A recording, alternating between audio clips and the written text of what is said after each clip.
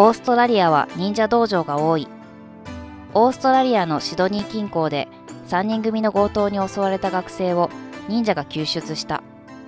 それによるとドイツからの交換留学でシドニーに滞在している医学生が夜間に裏通りで強盗にあったがそれを目撃していた現場近くの忍者学校の教師が生徒たちに被害者を助けるよう指示した。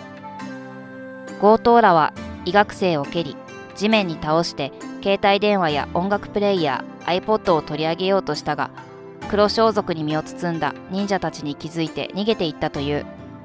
忍者すげえ。み、溝？溝？今日というかついさっきの話なんだがお昼を食べにローカルチェーンの丼物屋に行ってきた。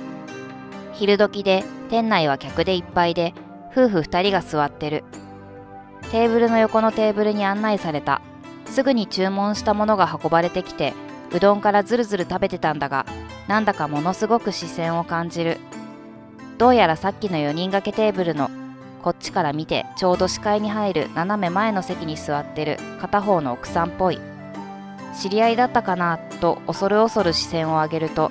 そこでやっとその4人が外人さんであることに気づいた。会話が日本語じゃないことに全然気づかなかったよ。えー、なんだろうと思ってると笑顔でその奥さんに挨拶されていきなりのことに驚愕したがもぐもぐしてた口元を押さえてなんとか頭を下げて挨拶を返した。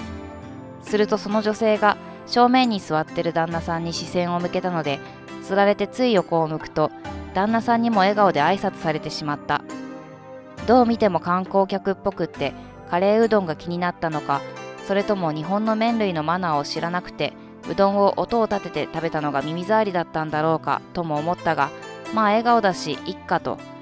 すごい日焼けした白人夫婦2組で店員さんにメルシーって言ってるのがなんとか聞き取れたので多分フランス語圏の人たち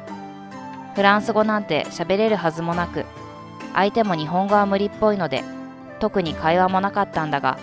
このキャンパス内で会う教授や留学生以外で外人を見ることなんてほとんどなくてな。全商品写真付きのメニューなので注文は指差しでいいんだけどおのおの丼物を頼んだ後に何やらバイトの女の子に片言の日本語でさらに注文。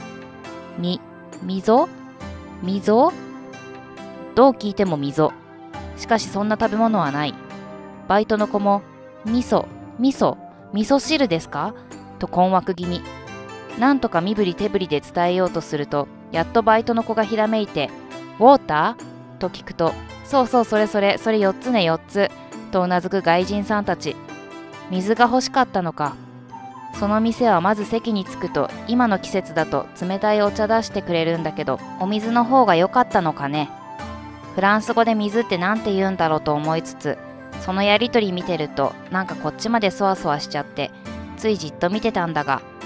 奥さんはそれに気づいたのか、注文を終えると、再びこっちを向いて、今度はちょっと苦笑い。正直和んだ。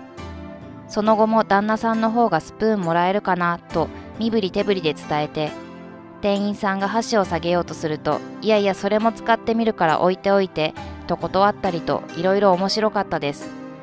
ちなみに旦那さん2人はカツ丼とツナマヨ丼の温玉のせで例の奥さんは果敢にも海鮮物に挑戦してた。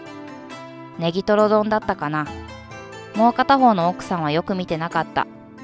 みんなお箸一生懸命使って食べてたよ。